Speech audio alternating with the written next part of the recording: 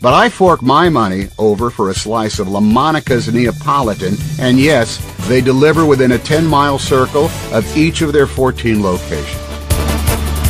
Note, this is broadcast live as seen on TV. Had paid $6 million a pop to some outfit called Chronometric Adventures for, get this, time travel vacations. No, no, no. This past week, I went off on a doozy of a salaried adventure.